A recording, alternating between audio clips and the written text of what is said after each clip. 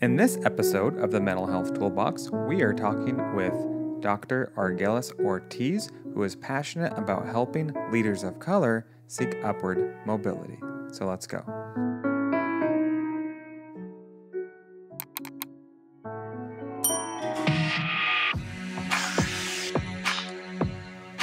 Hello, Thrivers, and welcome back to the Mental Health Toolbox. If you're meeting me for the first time, my name is Patrick Martin, and I am on a mission to help 1 million people improve their quality of life through actionable tips on personal development. So let's do it. Welcome, Dr. Ortiz, to the Mental Health Toolbox. So happy to have you on today. I appreciate you making time. Um, would you like to let our listeners know a little bit about who you are and what it is that you do?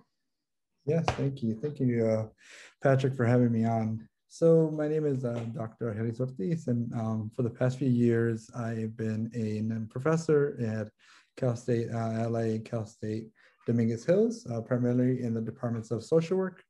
Um, I have a, a, MSW, and with that degree, has allowed me to teach um, in those departments. Primarily, uh, my focus is uh, leadership management, um, macro social work, what they call it.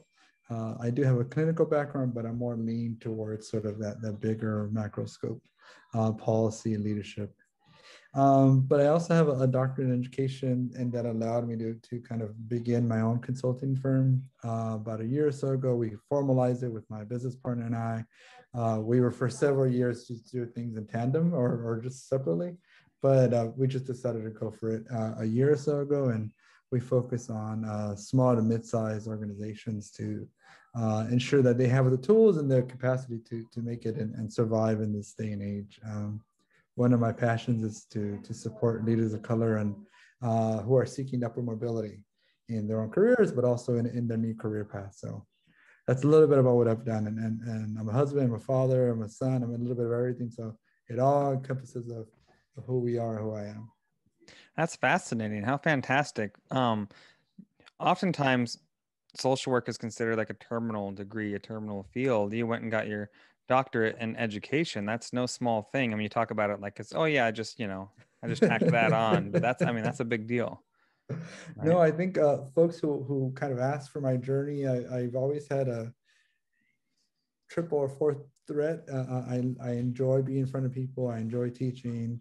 Um, but I also do find uh, a gratification with, with uh, just the, the, principles of social work, right? Start where people are at, um, teach a person how to fish and, and uh, kind of live forever. Like, like those type of principles really in, uh, um, are dear to me, but, and community building is huge um, for what I do. And then education in general, I, I, like living in that pocket of sort of empowering people, teaching people, and, and those degrees have so worked out. Uh, the second question, question people ask me often is, is why didn't you go get licensed? Hmm. And it's, it's always a good follow up question because my end goal has always been high academic uh, academia and, and, sort of starting my own um, organization. And, and license does help. Uh, so if folks are on the route, like don't stop. Uh, but my path was just closer to, I was already in management, I was already in leadership, I was already kind of ahead in the curve. Um, and not to put it this way, but but if I would have got the license route, I would have really have to focus on my craft and you know two three years, but I would have kind of um, sidestepped for a while. And and again, knowing that my end goal was going to be uh, running something, it, I was looking more for that that doctorate in in the long run.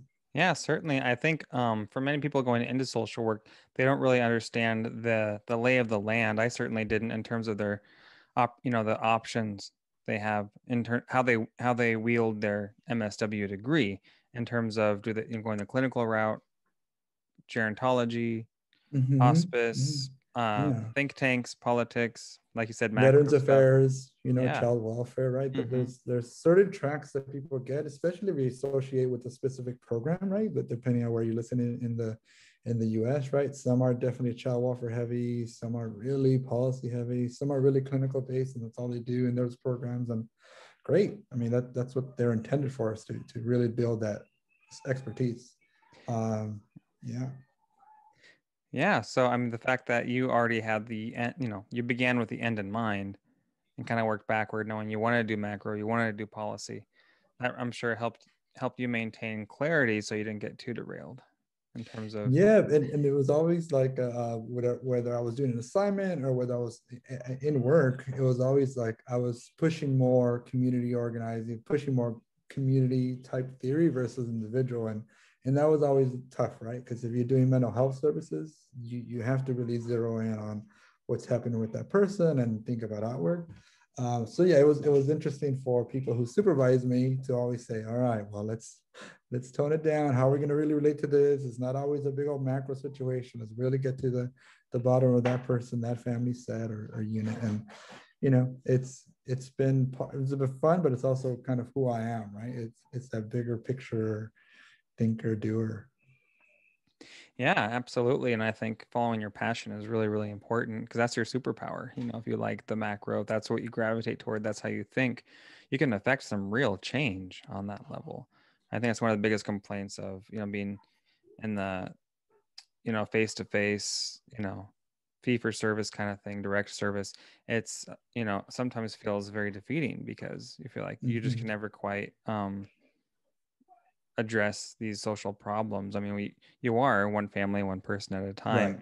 To, to really affect change, you know, there people have to go to battle on the policy, right? Yeah, and I and I think both sex or both sides are needed, right? Whether you're you're in love and passionate about helping one person at a time, right? Like diving deep, uh, um, making sure that that person's life is, is changed forever, making sure they don't repeat cycles. I mean, that that's invaluable expertise. Um, and then there's the other side too. Like if you want to go on the, let's get to the root cause of the problems. Let's, it, is it racism? Is it systemic? is like, what is it? Then you kind of need that other type of people to to go on the bigger macro route. So, but I think they both work.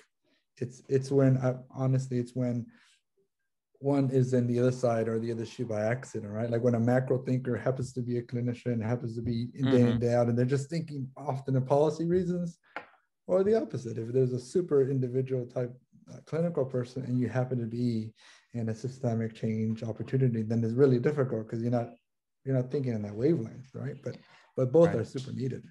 Can imagine too if like if your passion like if you're in a position like that where you feel like your hands are tied, it could lead to burnout, it could lead to, to frustration, yeah. resentment sometimes. Yeah. And I think even harder than that, it, it's sort of being um,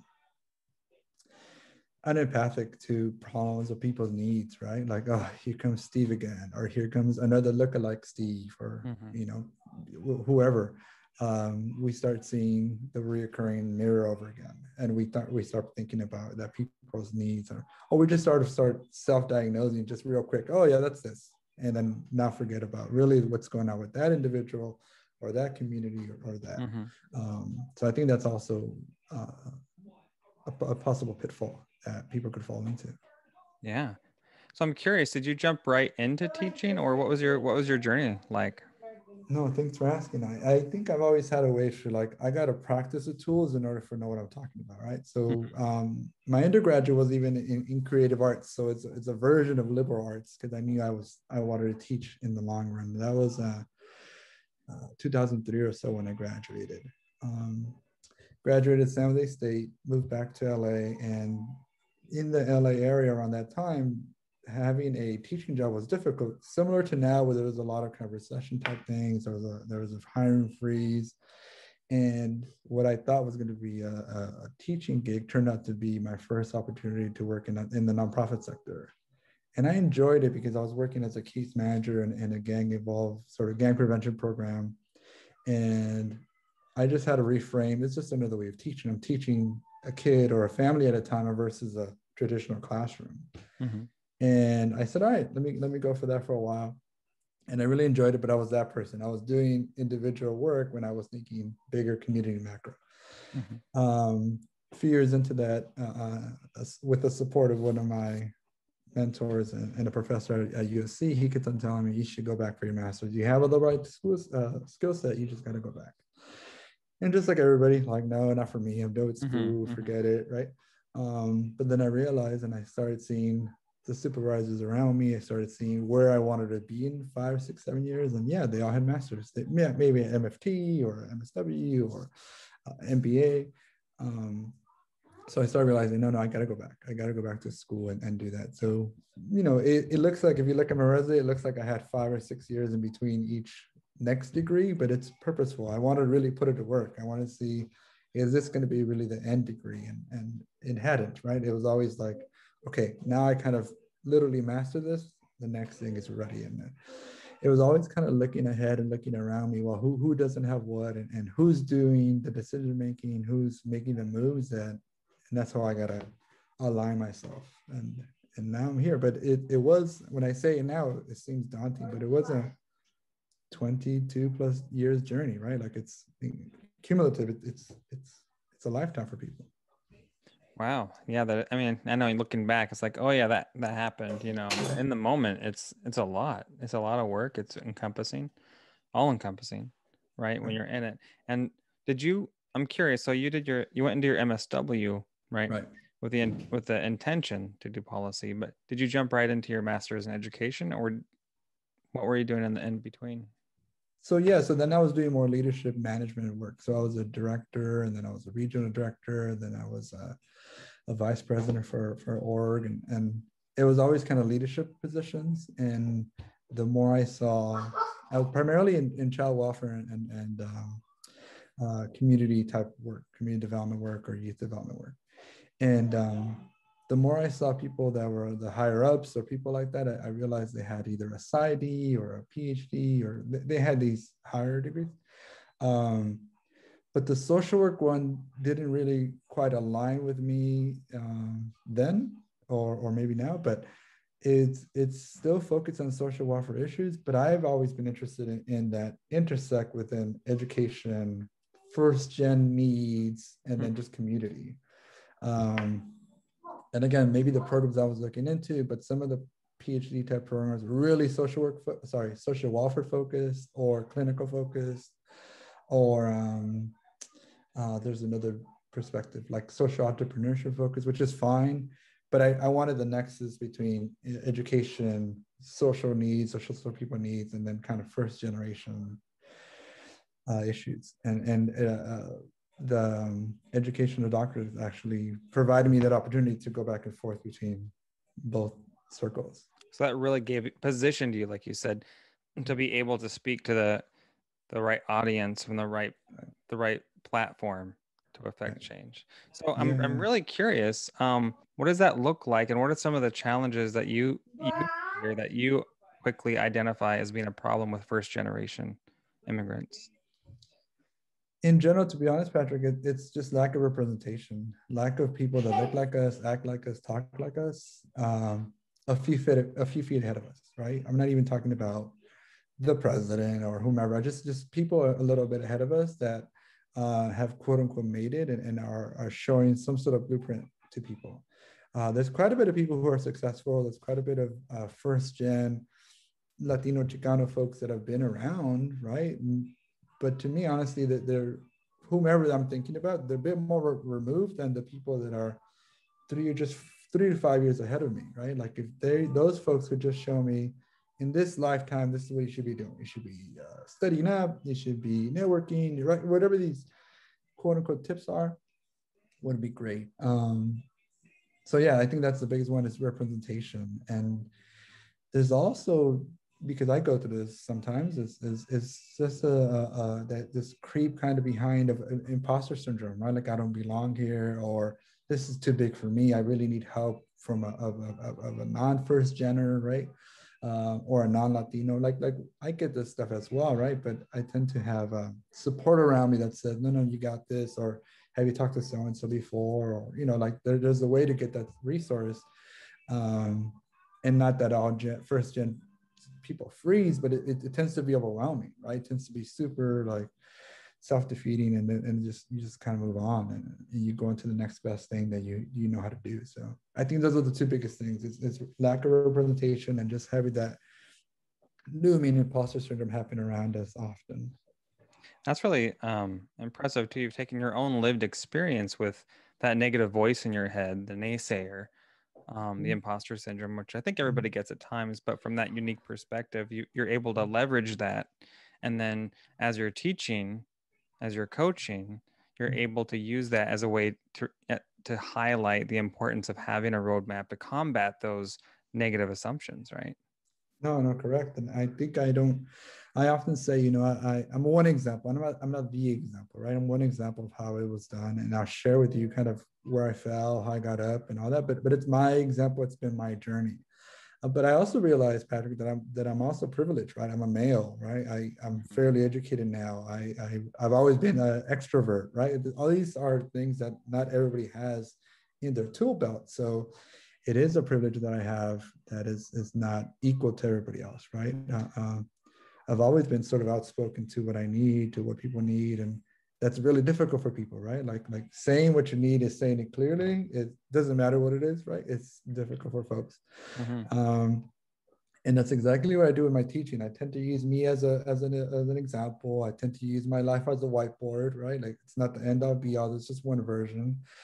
Uh, but then I also try to, as, as much as possible, and people's availability, I like to bring people on like yourself or people who, who are been doing the work for a while so they could show my students, they could show my colleagues that there's other ways, right? Like like you don't have to be just a quote unquote therapist and never think about podcasting, right? Mm-hmm, mm-hmm. You don't you don't have to be just a, outside a the box. person who yeah. yeah, you know, and, and and give it a try, right? Like nothing nothing worse is gonna happen if you if you don't try it, right? Right. If you start trying, maybe fail. Yeah. Mm-hmm. Be, keep open mind. Yeah. Big time, right? Yeah. And and you know you don't expect to fast forward and be Joe Rogan all of a sudden, right? You don't fast forward and be some of these right, folks, exactly. right?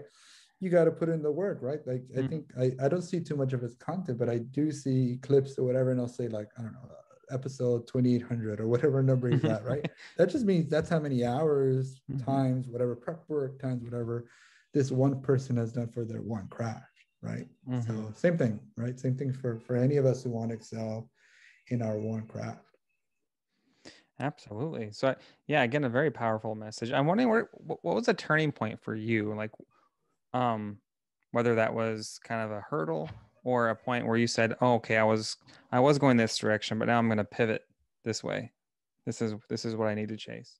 Yeah, interesting because you know it's always by kind of circumstance, right? Like when I when I came back from uh, San Jose State, I, I met my my now wife over there, but my girlfriend, and and we moved down here to LA, and we came here so I came back to LA for love, right? So I kind mm-hmm. of follow her back, and then good reason. All my my connections, yes, all my connections were were in San Jose State, and and uh, so I came back, and then I realized, man, okay, if what's what's the bigger picture that I want here? Do I want to be so narrow minded that I only want to teach, and I only want to teach high schoolers and social studies or whatever that was, and and and if so, then I had to chase that really hard. Um, but I realized that I want to empower people, right? So that I make it like the denominator is sort of bigger and then when I was doing the, the gang stuff and I was doing more uh, nonprofit work, I said, okay, well, what, what's my next level and what's really the basic denominator? Okay, now I want to empower communities. So then I did the master part. And then it was like, well, then I've been doing that for a little while. What's what's the next step? What is the most common one? And, and it was always like opportunity because of work or opportunity because people are coming like uh, uh, needing my, my help or my services and uh, that's kind of how I started the consulting stuff. Is that people would ask me similar work, right? Hey, can you help me do this? Hey, you're really good at that. I saw you this in this conference or whatever. So like, hey, people are asking me, I, I got to start monetizing this. You know, I got to start figuring mm. out how do I make this a package and how do I uh, excel with my powers and and and that's it's always been uh, uh, paying attention to what people are telling me my strengths are, but also be really honest with myself. And that that that's what I want to approach. That's what I want to go next. And and of course, I'm giving you the super cliff versions, right? That oh, of course. Nights when yeah. I'm like, it's always more complicated when you open up, up the hood. yeah, yeah, yeah, exactly. And uh, there was definitely sleepless nights and and all that good stuff. But but in the end, it's like, what's what's what I really want to get out of this, and then what is being uh, uh, offered to me in that moment in time to go for it, right? So you uh, were listening though. You're listening to the needs, and you're thinking, well, this is obviously there's some repetition here, yeah. and what people are asking there's there's an you know how do i meet this need on, on, a larger scale and i think coaching that makes sense packaging something repurposing it um, creating something that people can find right mm-hmm. more easily mm-hmm. um, but was that process anxiety provoking for you because that requires a lot of a lot of fortitude in terms of putting yourself out there you know and having the confidence to to put your name on something like that yeah I, will answer in two ways. One is is is the the thrill of like meeting somebody new, pitching an idea, dissecting a new problem. That's fun for me, to be honest. Like that's super mm-hmm. exciting and that's thrilling. It's anxiety because you don't know where you're gonna go, right? But that's that's I think what what people most think about. Like, oh, I don't I wouldn't even know how to go do X Y Z. Um, but for me, I bigger more of a core of like, okay, if I really go venture and, and really do the uh, consulting firm 100%, if I don't have a, a, a plan A, right, my full time job or teaching or whatever, like, can I really feed my kids with this, right? Can I hmm. really like so? So I break it down to that level, and, and that creates a bit more anxiety, to be oh, honest. Oh, sure. As compared as compared to the first one of like, oh man, I don't know how to pitch this to the board or something like that. That I'll figure out because I'll have to, right? Mm-hmm. It's more of like, and that's kind of what happened to us, Patrick, a year or so ago when we formally began um, Silegra. Uh, a lot of folks that we had kind of in queue to do a program with us or propose or whatever just asked us to hold and say, you know what, we, we got to figure this out. And we're not spending any money on consultants, and et cetera. Even though we have kind of been setting up and, and being ready to, to kind of launch, I don't know, maybe six, seven months when it was just kind of a dry spell. And then we had to really reinvent is it just projects we're doing? Is it individual coaching we're doing? Is it group coaching? Right. So we hit our, we had to innovate. And, and I think that was our, our mantra for ourselves. But whenever we met somebody, we said, hey, you got to innovate, right? You got to, if you're not set up for online, what can you do that gets you as closest to it as you can, right? How can you go hybrid or how can you do it? Because honestly, if you don't innovate, you're going to sink big time. Mm-hmm. Doesn't matter what size you are, uh, uh, individual or nonprofit, you know? Yeah, I mean, so you definitely had to kind of recreate your your business framework, your mm-hmm. approach, mm-hmm. um, how you would market your services. Um, what is it? So, what does it look like now, Silegra? Oh, great question. I think it looks like we're going back to some people who we already had proposals queued up. Mm-hmm. Uh, we're going back to some people who are saying, you know, we're about to open but we want to remain doing hybrid like how do we end up doing both? Can you, can you look at our capacity? Can we look at any new ways we could uh, onboard people or onboard systems? And we do that. Um, we're also kind of in lately been in the in the eval biz where folks just say hey we, we we just flew the plane the past year and a half but how can we capture some things that we did well so we can move forward? So we're doing some eval support there. Um, and just like everybody to be honest they're, they're kind of on a you know fifth gear fourth gear first gear situation because they they go they speed up they, they hire they let go and mm-hmm. uh, you know i think it, we're going back to some trainings on culture humility uh, burnout uh, leadership management it's just you know at, at, some point your leaders are not you're just yours right but every leader is like ready to say okay i, I need a break right like i need mm-hmm. to figure out what's going on with my own situation before i say let's all come back given the pandemic right like mm-hmm. there's a lot of people who who have taken a whole different way of self-care and are thinking about it a whole different way. And it's not just is it the right price? Is it going to be the right like distance? Is it the right population that I work with? I mean, there's a lot of people are going through and yeah.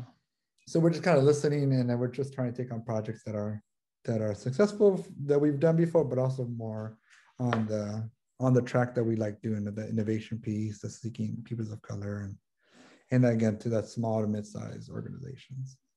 Yeah. So i'm curious is your is is your business now more about b2b where you're you're basically doing more program um, you're analyzing other programs evaluation for other you know other companies or are you doing more um, consumer based work? It's definitely more b2b lately. Uh, that seems to where most of our requests have come in. Um, I personally enjoy that sort of, you know, myself and going to the consumer. Um, but right now we just define the consumer as the the leader, as the ED, or or as mm-hmm. uh, right, and that, that's that's who our target folks are, um, as opposed to going to the youth, right, mm-hmm. or going to the parent, or going to the foster youth. Like like like we're we're taking it sort of to the provider side, and that seems to be having working lately. Um, yeah, there there is I don't know better or worse, but they're as much need in, in that field that as in everybody else. So oh, of course, um, yeah, you know they're ready and they're earning for it. Yeah, excellent. So that's I mean it's quite a journey, you know, where you, where you are now from where you were. Um, what would you like to see happen next? Like, where do you where do you see your your business going? Great question. Um, we know we have these chats kind of my partner and I, my business partner and I have these weekly check-ins where we say, okay, well, we have this opportunity, this opportunity. And um, you know, I, I do want to get comfortable where we're not quote unquote chasing uh, requests anymore or doing four or five proposals for one to hit, right? Like just like everybody, right? We want to be as stable as possible. Um, so we definitely want to be following our own uh, recommendations, right? So mm-hmm. that we're not overburning ourselves and all that. Um, but honestly, I think I think there is an opportunity to work in the diversity, equity, inclusion space. You know, there there's a lot of requests. There's a lot of director of this coming up. There's like uh, for-profit companies are putting this. I I think that there's an opportunity for us, social workers, people of color, to be in those roles or be an advisor or be in some sort of formulating that program, or else, to be honest, it's going to feel more the same. You know, it's going to feel more like a um, and not to talk bad about social corporate or uh, social corporate enterprises, right? But it'll feel more of that, right? Let's go to the soup kitchen and Thanksgiving, but mm-hmm. then the mm-hmm. rest of the year nothing occurs. Right, just for sure. Right, so, or to scratch yeah. an itch, and you know, or just like a checkbox, yeah. you know, yeah. So, so, so, I want to be more in that space, yeah, kind of down the down, down the line. So I wonder if you could paint a picture of kind of what equity would look like, or what what's your you know what's the pot of gold at the end of the rainbow in terms of your mission? Oh, awesome. You know, it's it's it's hard um, to put it in a sentence or so, but but if there was a, a a next big gig or next big project that would be amazing, it would be to really see and how could we be a support for for a large company like uh, like a Disney or like something that really has a hands in everything, right? Uh, manufacturing, like media, right? Like like it's it's really immense and it has cruises and it has uh, like girls are watching uh, a movie or something, right? So so it has entertainment, it has everything, it has a lot of value to it. I could just only imagine if they really, you know, were behind something that, that was all encompassing and really talked to their employees, uh, got a pulse of the community that they were serving. And of course, it is a, a company. Of course, it's going to be bottom line, dollar mm-hmm. making, et cetera, right?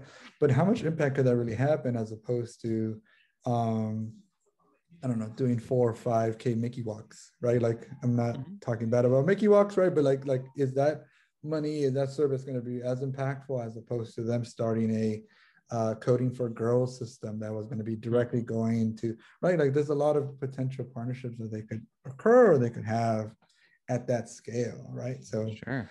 you know that that would be the pot of gold that would be that magic wand if i can make it happen tomorrow right? Mm-hmm. um yeah I, I think hopefully we're going to be there but it just takes a little while. It it honestly takes a bit more experiences to know the space to know the lingo to know the players because you know, uh, uh, manufacturing versus parks versus media versus radio. I mean, like they're all going to have different ways of, of, of, analyzing their own need, you know?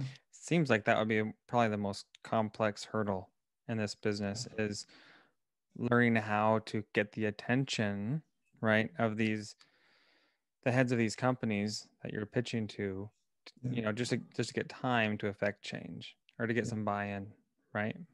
Yeah, yeah. Yeah. And I think I, because I, I don't, I'm not sure that I've seen it happen. Uh, maybe, maybe like where it came kind of top down, like Patagonia or, or, or some of these Apple initiatives, the, mm-hmm. the whole uh, going green type things. Um, but there's definitely more, right? There's definitely more that each of those companies could do, and, and uh, from access to expenses to to everything, you know. Big gold, big, big, pot of gold there. Yeah, fascinating work. I mean, it seems like you you can go in so many directions when you're talking about glass ceilings, mm-hmm. upward mm-hmm. mobility, minority mm-hmm. groups. Yep. Um, I mean, you can get into micro minority groups, gender. I mean, it just goes on and on. Yeah, and yeah, pick, picking one one population to serve or one particular goal within across the populations. You know, do you go a mile wide and an inch deep, or do you go to, you know, right. an inch wide and a mile deep, you know, in terms of of who you serve and how you go about it. It seems like to me that would in the work that you're doing, that would probably be the most daunting thing. Unless unless you absolutely know this is the one particular need of this one population that I'm really trying to.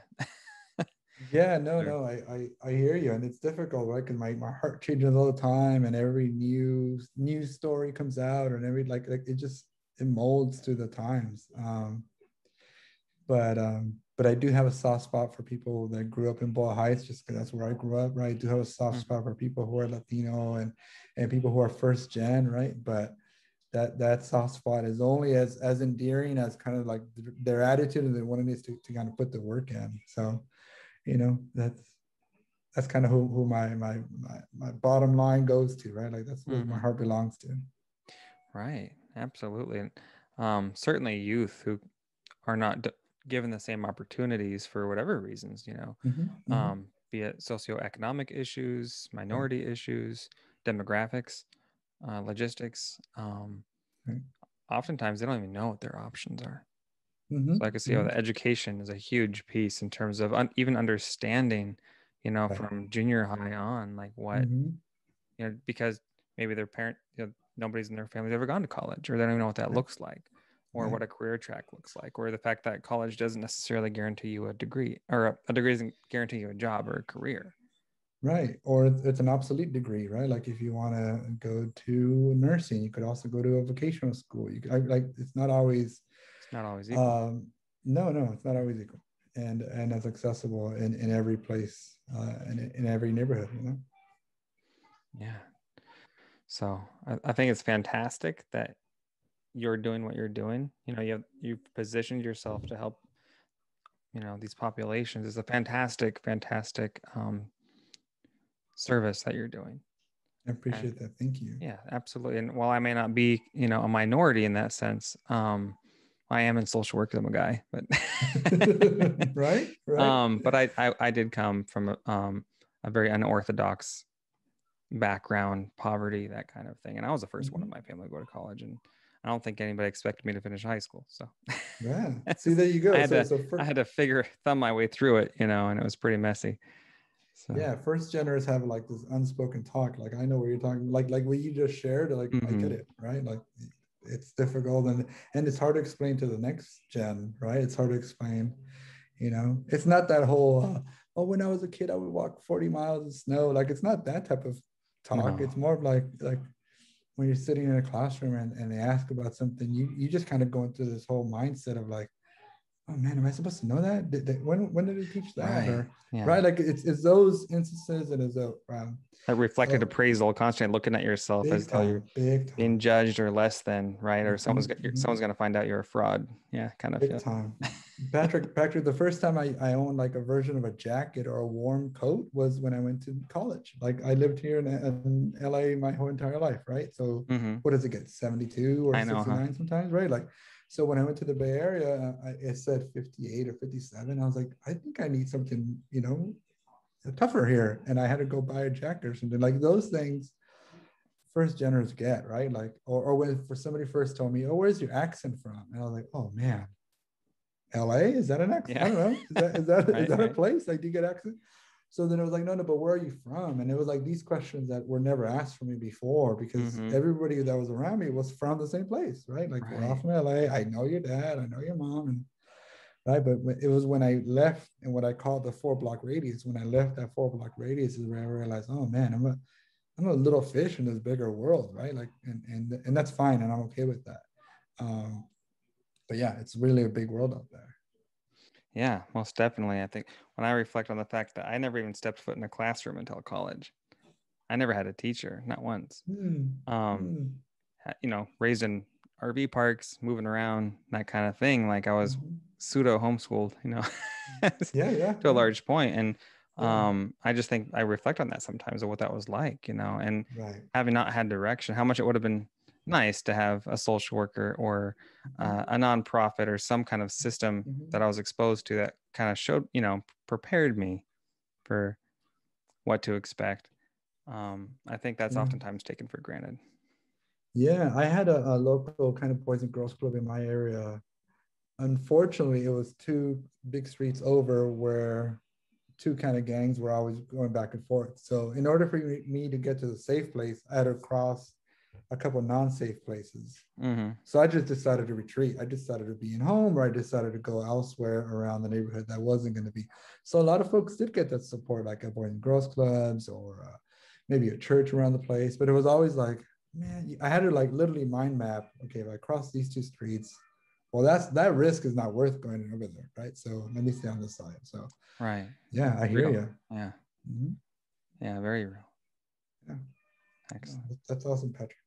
And what about it when you um, first kind of stepped in the in the classroom you were mentioning? Um, was there a lot of self doubt on on on your own capabilities? Like was your own oh yeah, on uh, could I do this? Absolutely, of course. I I didn't know what it was to have deadlines. you know, on projects. You know, I mean, from the very most basic thing. I don't think I ever owned a yeah. planner until then. Yeah. You know, um, I didn't know how to how to organize my notes. I didn't. I mean, there were so many things I just wasn't accustomed to. Right. Um, right even advocating myself to a teacher you know it's just some you know time you know yeah studying for tests at you know certain timelines because there was yeah. everything was through correspondence up until that point and there was very little mm. um restraints in that sense. So yeah it was definitely uh but at the same time the interesting things i loved like i was so thirsty for structure because i had no Got structure it. growing up. None like zero practically. Yeah. So the the fact that college offered structure i think is was a huge pro you know i was willing to to adjust. I was anxious to adjust to it was like a welcoming structure like you were ready for that. Yeah. Hmm. interesting how you know your background plays a part into how we how we take on challenges and how we adapt. No big time. And I, i've always shared that in class or even in colleagues is that you can have twins same house same birthday mm-hmm. same everything potentially same uh, genetic type, right? But it's it's two different experiences, right? They're just molded totally different. Um, and that's kind of that whole ancient debate, right? Nature versus nurture, and you know, I I think it's half, right? It's half of what you have genetically, you know, that good stuff, but it's mm-hmm. off of uh, your your lived experience and, and what you oh, go certainly. through, et cetera. Like like it's it's not and or it's it's a both. You know? I think too how we and you know our schema, how we internalize our experiences versus see them as opportunities or how malleable we view the world is right versus how fixed that those challenges are right yeah. um yeah so i th- again i just you know i have a, a special place in my heart for the work you're doing in terms of being a voice for those who would not otherwise even know they needed a voice mm-hmm. right mm-hmm. yeah yeah no no no likewise and i think what i most recently have been joining lately is um supporting students who are, are about to venture out, because I, I teach primarily graduate school, but it's students who are about to go get their quote unquote first professional job. So up until then, they were, I don't know, baristas, or, you know, they, they mm-hmm. were maybe in the human services, but they were the, the, screener or the, or the case manager, right? Like they always felt like their work wasn't as up par with a therapist or a director or whatever. And I challenge that often. I said, you know, you're gonna have a lot more keys to that car, to the house that you think. Like when you get mm-hmm. in there, you're gonna be like, oh man, I really knew all this stuff. I just called it something else, right? Or right. I just experienced right. it differently. Or or now that I have both perspectives, I get to throw in a whole new, fresh way of doing things. And um, so yeah, that that's lately what I've been in, in really enjoying and seeing people's aha moments and those light bulbs and asking them, hey, keep it on or keep it in the back because you're gonna you're gonna use that fairly soon. Absolutely. That's great. Great advice. Um, so I'm wondering, you know, for any of those who are listening or watching this interview, um, what would you impart to them in terms of nuggets of wisdom? Like, what would you have them take away from your your experience, your mission? Um, I think two things. One is is is being okay with with listening to yourself and listening to what are your strengths and what you're good at there's a there's a fixed mindset that we have that we have to be this X, Y, Z type person by this age, by by this career path, but you know, but just really listen to the journey and see where you're at. Um, shift, pivot, you know, down gear, up gear, whatever you need to be doing, but just be listening to it because there's a reason why you're in that path, literally. Um, and again, if you quote unquote make the wrong choice, you'll never know what the right choice was going to be, anyways, right? So mm. once you made that choice, that's it. Like stick to that mm. and keep going. Um, because I, I think that's that's better than dwelling on well I should have I could have well, I didn't right. do it right or I'm too old I'm too young whatever those like little voices are so just kind of push through and keep going uh, the, the second big nugget, hopefully, is, is I'm, I'm sharing as much as I can, but definitely be able to pull up somebody with you, right? Whether it's a family member, whether it's a colleague or a student of yours, or whatever you're able to do, whoever you're able to influence, is just pull up somebody with you because one, they're going to make you better, and then two, you're just making it that much better, right? You, you you're you're splitting the pie a bit more than just you know kind of selfishly taking that on for yourself just for the glory of it or just for mm-hmm. that because there's definitely enough work to go out there. There's definitely enough need to go out there. There's no reason why it should just be you right? So uh, those two things i think I, I, hope people are kind of just not listening to how i'm doing but I see how i'm doing it right like that, that they see that i do it in my in my consulting work that i see that i do it when i'm teaching um, so that I'm modeling it and not just saying it in, in cool interviews, right? That, that it's actually happening. I love that. It reminds me of saying that, you know, no one's no one's better until we're all better, right? Oh, that's awesome. Yeah. Yeah, yeah. I probably no, slaughtered that I, quote, but no, I, but I but I got the gist. And I think the other one that I it's similar to it, right? But if you want to go far, go by yourself, right? But if you sorry, if you want to go fast, go by yourself. Right. If you want to go far, take people with you. I love that. Yes. Right? Yes. Because because fast is, is what we think, right? I want that that fast job or that high paying mm-hmm. job, or I want whatever that is, right? And cool, you might get there, right? But how many people are you going to step over right. just to get that, right? or how many, yeah.